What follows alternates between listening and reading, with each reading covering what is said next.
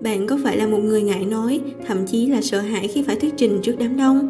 Không phải ai sinh ra cũng là một thiên tài diễn thuyết may mắn có được sự tự tin trời phú ấy. Thực ra ai cũng có những nỗi sợ cho riêng mình nhưng điều quan trọng là cách bạn đối phó với chúng ra sao. Và hiển nhiên, nếu như thuyết trình là rắc rối của bạn, thì tôi hy vọng cuốn sách How to Present to Absolutely Anyone, nghệ thuật thuyết trình trước công chúng sẽ ít nhiều giúp bạn giải quyết được vấn đề này. Cuốn sách được viết bởi tác giả Mark Roach. Anh được biết đến như một doanh nhân, tác giả, diễn giả quốc tế và huấn luyện viên thành công. Tôi cũng xin khẳng định rằng tác giả cuốn sách là một người rất thú vị. Chắc chắn lối kể chuyện hóm hỉnh và lôi cuốn của anh sẽ khiến bạn cảm thấy hứng thú. Đừng cho rằng cuốn sách này sẽ dạy bạn cái này hay buộc bạn phải làm cái kia để trở thành một diễn giả tài năng. Bởi vì cuốn sách giống như những lời chia sẻ hơn là chỉ dạy và khi tận hưởng nó, bạn sẽ hiểu vì sao tôi lại nói như vậy. Tất cả những gì Mark mong muốn chỉ là thay đổi cách nhìn, cách nghĩ về việc thuyết trình và khiến bạn tự tin hơn mà thôi. Một câu chuyện của Mark Tôi vốn nghĩ việc ngại thuyết trình trước đám đông chủ yếu gặp ở người phương Đông vì bản tính nhút nhát rụt rè của họ. Cho đến khi đọc cuốn sách, tôi nhận ra người phương Tây cũng không khác là bao. Có lẽ đây là một phản ứng tâm lý thường gặp ở một cơ số người. Tôi từng nghe rằng khi làm khảo sát về những nỗi sợ lớn nhất, sợ nói trước đám đông giữ vị trí cao hơn cả sợ chết. Tôi cũng từng nghe ai đó nói điều đó, có nghĩa là ở một đám tang, hầu hết mọi người thà chui vào quan tài mà xuống đất, còn hơn mà đứng lên đọc điếu văn. Đó là một câu nói vui, nhưng lại không hề phóng đại đâu. Với những người sợ nói trước đám đông thì đó quả là một thử thách không hề dễ dàng, thậm chí hoảng loạn không khác gì đi gặp Diêm Vương cả. Nhưng tôi tin thuyết trình là một nghệ thuật đòi hỏi sự rèn luyện, thậm chí những nhà diễn thuyết giỏi cũng không hoàn toàn xuất phát từ năng khiếu. Bạn có thể xem tác giả là một ví dụ. Đây là câu chuyện đầu tiên mà Mark kể lại trong cuốn sách về chính trải nghiệm có thật xảy ra trong cuộc đời mình, một câu chuyện để dẫn dắt, để noi gương và thuyết phục có thể kể một cách tóm tắt là trước khi trở thành một diễn giả quốc tế với sự tự tin ngời ngời trước hàng trăm người, thì anh cũng từng là một người mang nỗi sợ thuyết trình, sợ đến mức bịa ra một vụ tai nạn xe hơi để tránh một cuộc họp mà anh phải trình bày. Và giai đoạn sau đó còn căng thẳng hơn, bản thân tôi cũng không biết nên khóc hay nên cười về câu chuyện này nữa. Sau đó anh cũng chia sẻ, tôi hoảng sợ đến mức đó và có thể làm những việc như vậy chỉ để tránh một bài thuyết trình kéo dài một phút trong một căn phòng có khoảng 12 người. Tôi từng dở tệ về khoảng nói trước đám đông đến mức đó. Còn bây giờ tôi đã đứng trên sân khấu trong hơn một tiếng trước hơn một nghìn khán giả không có công cụ trình chiếu và tôi tận hưởng đến từng giây phút. Thậm chí khi nhìn xuống đồng hồ bấm giờ và thấy chỉ còn lại 5 phút trên sân khấu, tôi còn thấy thất vọng vì mọi thứ trôi qua quá nhanh. Vậy thì, cái gì đã thay đổi? Bản thân tôi cũng đặt ra dấu chấm hỏi to đùng khi đọc đến đây. Điều gì đã khiến một mắt sợ bài nói một phút ấy trở nên tự tin trên sân khấu hơn một giờ đồng hồ? Đến đây thì tôi bị cuốn vào câu chuyện của tác giả, mặc dù không hẳn là tôi quá hứng thú với cách để thuyết trình hay. Và câu trả lời được đặt trọng tâm ở hai phần sau của cuốn sách. 2. Tư duy và sự tự tin để thuyết trình Toàn bộ phần này bao gồm 3 chương. Mark dồn hết tâm sức để xây dựng một sự tự tin cho người đọc Việc giúp người khác trở nên tự tin không hề dễ dàng, thậm chí chỉ qua trang sách có lẽ là chưa đủ. Nhưng Mark khiến bạn nhập tâm vào cuốn sách, giống như một người bạn đồng hành, anh ấy sẽ giúp bạn từng bước một. Bạn cũng cần nhớ rằng càng bớt sợ, chúng ta càng làm được nhiều điều. Câu nói được đặt ngay ở phần đầu như một câu châm ngôn mà bạn cần hướng tới. Việc đầu tiên để thuyết trình chính là thay đổi tư duy của bạn về những nỗi sợ và lo lắng. Có thể thấy được đây là bước khởi đầu quan trọng. Vì thế mà tác giả đầu tư khá công phu vào giai đoạn này khi đưa ra rất nhiều ví dụ thực tế kết hợp với những lý thuyết khoa học như tư duy TFAR để tạo ra hiệu quả tối ưu. Phần này rất dài, nhưng tóm lại cũng chỉ có hai từ là tự tin mà tác giả mong bạn có được. Nghe có vẻ hơi khiên cưỡng, nhưng một khi tận hưởng cuốn sách, bạn sẽ thấy có thứ gì đó giống như sự phấn khích đang lớn dần trong bạn. Trước kia, có thể bạn ngưỡng mộ những người diễn thuyết giỏi nhưng thái độ với thuyết trình vẫn chỉ là kính nhi viễn chi. Tuy nhiên, chỉ cần đọc xong một nửa cuốn sách, bạn sẽ thấy hào hứng và thực sự muốn được luyện tập để trở nên như vậy. Nói cách khác là bạn tìm thấy ở việc thuyết trình một sự hấp dẫn khó tả trong các phương pháp tác giả đưa ra để tạo ra sự tự tin và động lực thì đáng ghi nhớ nhất chính là tạo mỏ neo cảm xúc. Tại sao nó nên được ghi nhớ nhất? Bởi vì tôi nghĩ đây là một phương pháp hiệu quả mà chúng ta có thể dễ dàng áp dụng. Nếu bạn để ý thì phương pháp này không hoàn toàn xa lạ, xuất hiện trong rất nhiều cuốn self-help khác. Khái niệm mỏ neo trong lĩnh vực phát triển cá nhân mà chúng ta thảo luận ở phần này là thứ khơi gợi phản ứng cảm xúc trong bạn. Mỏ neo không phải là điều gì xa lạ, bạn lúc nào cũng có mỏ neo trong mình và nó diễn ra suốt. Đó là khi có một sự kiện ở môi trường bên ngoài, có người nói gì đó, bạn nghe thấy, nhìn thấy, nếm được hay ngửi thấy. Sự kiện đó khơi gợi một ký ức và ký ức này đem đến cho bạn một cảm xúc nhất định.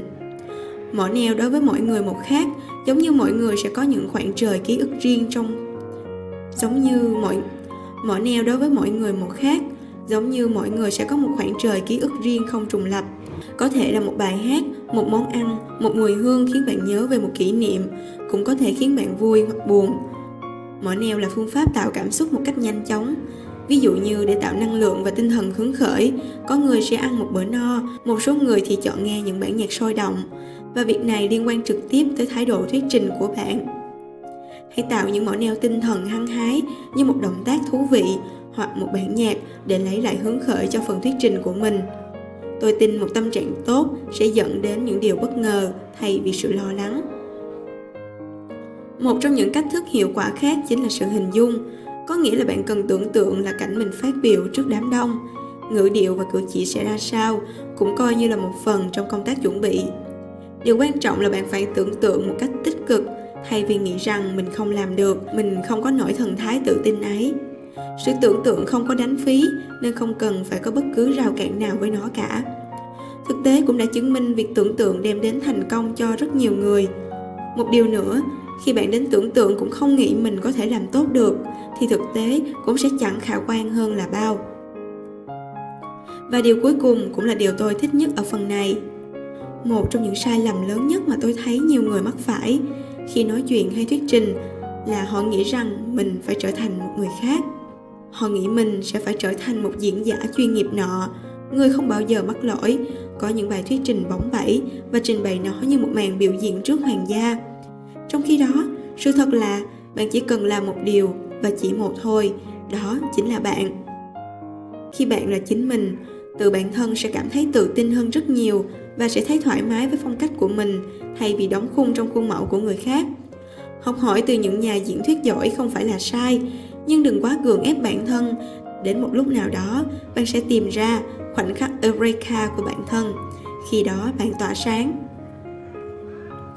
3. Trình bày một bài nói bài thuyết trình tuyệt vời nếu như ở phần trước, tác giả chủ yếu xây dựng cho người đọc tâm lý tự tin và hào hứng đối với việc thuyết trình, thì đến phần này, tác giả chú trọng hơn vào phần kỹ thuật của một bài thuyết trình. Sau khi có được tâm lý tốt, thì một bài thuyết trình hoàn chỉnh cần sự luyện tập nhiều một chút là có thể trọn vẹn. Cuốn sách đưa ra một lộ trình khá chi tiết cho một bài thuyết trình, từ khởi động cho tới lúc trình bày. Tôi nghĩ khâu nào cũng quan trọng và đóng góp vào sự thành công của bạn. Tuy nhiên, phần tạo nội dung chất lượng vẫn nên để ý hơn một chút. Bởi vì một nội dung chất lượng và chu toàn sẽ giúp bạn tự tin hơn rất nhiều. Một nội dung mà chính bạn còn cảm thấy mơ hồ thì chắc chắn không thể khiến khán giả thấy thú vị được. Ngoài ra, nếu chuẩn bị nội dung không tốt, bạn thậm chí không thể đối phó được với những câu hỏi của khán giả. Điều đầu tiên của Mark nhắc tới là sức mạnh của những câu chuyện. Khi thực hiện một bài nói hay thuyết trình, bạn phải sử dụng những câu chuyện hoặc ví dụ minh họa, càng nhiều càng tốt.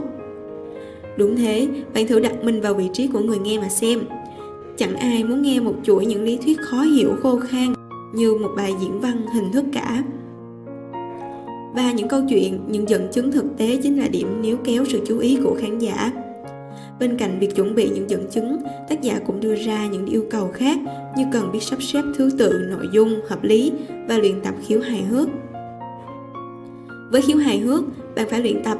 Nếu bạn tự lấy mình ra làm trò cười thì lúc nào người nghe cũng thấy thú vị. Mọi người cũng thích những câu chuyện vui liên quan đến tình huống ngày thường. Nói chung, Nói chung, phần này hướng tới rèn luyện cho mọi người những kỹ năng cơ bản trong việc diễn thuyết. Điều quan trọng là bạn cần luyện tập thường xuyên để có thể thuyết trình tốt hơn, không phải là chuyện một sớm một chiều. Nó đòi hỏi bạn cần bỏ ra sức lực và sự cố gắng. Như bạn cũng thấy, từ chính thực tế cuộc sống, kỹ năng thuyết trình là vô cùng cần thiết nếu bạn thành công. Trở lại với cuốn sách, tôi đánh giá cao chất lượng của nó, cũng giống như rất nhiều người đọc khác và Marcus Yarams, giám đốc tài chính tập đoàn Vertex, là một trong số đó. Những công cụ và kỹ thuật được Matt chia sẻ trong cuốn sách là chìa khóa cải thiện kỹ năng thuyết trình của tôi. Đây là cuốn sách phải đọc với bất kỳ ai đang tìm cách xây dựng sự tự tin khi nói trước đám đông và đưa kỹ năng của mình lên một tầm cao mới. Tôi từng gặp không ít người gặp rắc rối với việc nói trước đám đông và thuyết trình, nhưng đa phần là họ né tránh thay vì trao cho bản thân cơ hội để luyện tập. How to Present to Absolutely Anyone là một cuốn sách hay được sinh ra với kỳ vọng giúp đỡ những người như vậy. Như chính các tác giả chia sẻ, Tôi viết cuốn sách này cho tất cả những người đã bày tỏ mong muốn có thể thuyết trình tự tin như tôi và muốn nắm được các bước tôi thực hiện để có được những bài thuyết trình chất lượng. Bạn có thể thấy một người từng được coi là hoảng loạn với việc thuyết trình nhiều mắt cũng có thể trở thành diễn giả tài năng thì tại sao bạn không thể? Cuốn sách có văn phong cuốn hút của một diễn giả kết hợp cùng với kết cấu khoa học của một doanh nhân sẽ khiến bạn đọc yêu mến. Dẫu cho không phải là một nghệ sĩ với đủ thứ ánh sáng và trang phục lấp lánh, bạn sẽ thu hút khán giả bằng chính sự thú vị trong bài thuyết trình của mình. Khi đó, bạn cũng trở thành một nghệ nhân trong nghệ thuật thuyết trình. Bây giờ thì sao? Bạn đã sẵn sàng đứng trên sân khấu của chính mình và tỏa sáng hay chưa?